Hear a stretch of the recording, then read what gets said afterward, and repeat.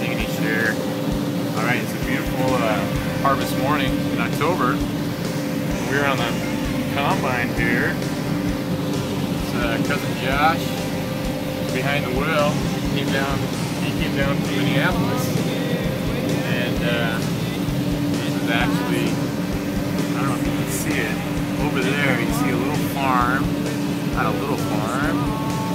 That's the farm he grew up on and uh, so he comes down for harvest and uh, helps out.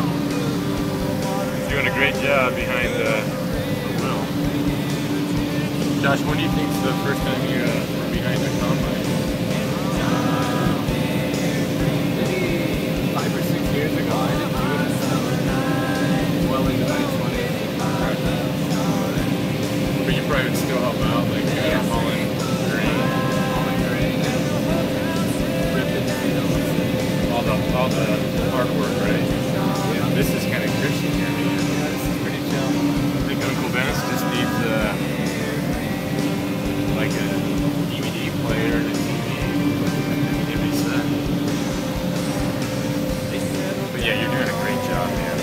watching here is the corn is right in between both of the, what do you call the green shoes, you know, the uh, finger.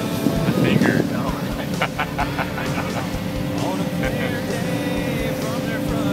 Alright. Any other words about harvest, Josh, that you might have for this, wherever this might go? I think it's probably just going to be between you and me in the video clip, but if it makes it